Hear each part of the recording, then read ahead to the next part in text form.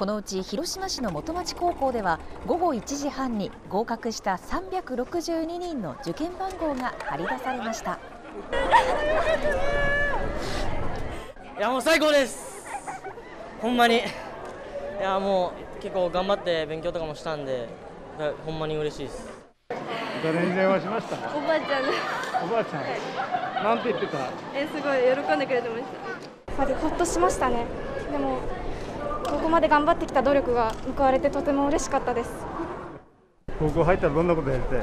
あなんか部活動とか中学の時あんまできなかったんで次やってみたいなと思ってます。今日は県内の延べ100の公立高校で合格発表がありおよそ1万4100人が嬉しい知らせを受けました。入学定員に満たなかった高校ではほとんどの学校で17日に二次選抜が実施されます